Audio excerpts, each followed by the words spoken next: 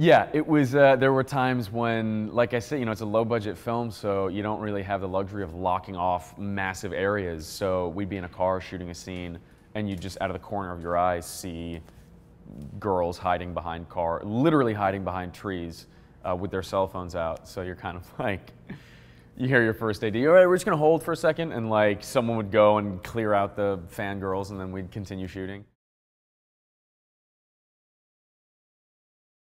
The character that he plays is this legacy, this guy who comes back, this kind of legend within the fraternity.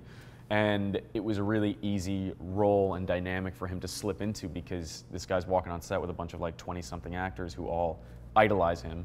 Um, and then he started slapping me in the face, uh, which was not scripted. There's a scene at the end of the film where I show up at the frat house and I'm kind of confronting some of the brothers. And originally, I'm supposed to bring the goat in with me. And so, like, we're shooting the scene and we do a few takes, and the goat just kind of comes in, pees on the floor, walks out. Like, in the middle of the scene, you can't really, you know, you don't know what the goat's gonna do. So then we're like, let's tie up the goat outside. And, you know, it'll be like, yeah, Brad tied him up.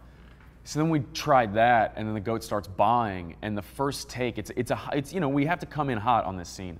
So we do the first take of the goat tied up, and we hear it start baaing. And Gus and I, who have this confrontational scene, um, we thought that it was a crew member just, you know, joking around with the goat and didn't know we were rolling. So Gus and I are like coming in hot, and we're like, "Can we just be quiet on set? Can we both like?" And um, yeah, and it turned out it was the goat, so we had to just scrap the goat from that scene. Goats, uh, they kind of just do their own thing.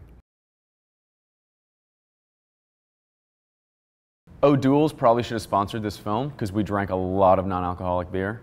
And it doesn't matter what you're drinking. When you're drinking copious amounts of anything, it's tough. Um, but uh, especially when it's non-alcoholic beer that's been in like a keg in the back of a props van for four days, um, nice and warm.